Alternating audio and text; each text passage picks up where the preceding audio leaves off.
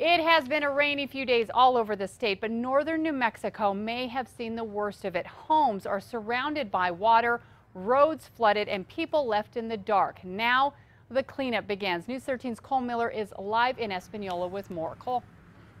Kim, the road I'm off here is just off of Fairview and Espanola, and rather than looking more like a road, it looks more like a river. But neighbors here tell me it was even worse this morning, with some parts seeing more than two feet of water and now they want something done about it.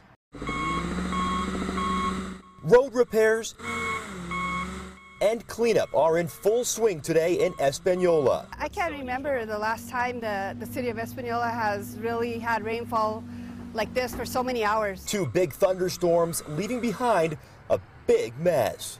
I cannot leave home with my small vehicle. Uh, the water right here in two spots is at least 20 inches deep.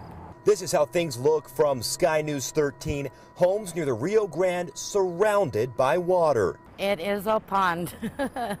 we got 22 inches of rain. No one in Espanola had to leave their homes, but that doesn't mean there haven't been a lot of problems. It's put a toll on driving out of here, going to work. I've had to park my car up in the up on the hill at the church. Alan Sullivan says he's lost some power at his home. I've been here uh, six years. My wife and I, we bought this our double wide. And this is the first time that we have experienced this torrential uh, amount of water at one time. When it comes to help, though, not much can be done, at least on Sullivan's Road, Angel Duran Drive.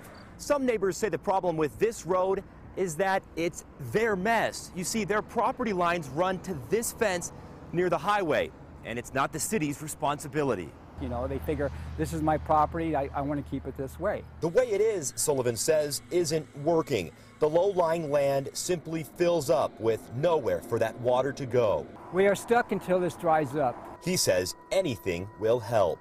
We're not asking for uh, a full concrete uh, barrier of sorts. We're looking for something to to just keep the runoff from coming into our into our our our driveway, our homes. And one city councilor wants changes too. These are things that we want to solve and we want to help people solve. Well, I hope that they could fix this problem because I would hate to go through this again. Now the big question is when will this water go away? When will it evaporate? That's the waiting game that residents are going through tonight. Now, I want to step to the other side of the camera. I'm going to swing it around here. I want to show you some of the clouds that we're seeing to the west form. Um, give me just one second here. I'm going to move this camera. Now, we're seeing some very, very gray skies to the west as these clouds form. We've already seen a few sprinkles here as well. Kim, back to you. Okay, thank you, Cole. Now, residents, residents in northern Santa Fe County were also hit hard. About 60 homes in the Pojoaque Valley mobile home area were evacuated overnight. As Cole showed us, the news is not good for these people. That area is expected to get the worst of tonight's storms. Here's meteorologist Mark Ronchetti.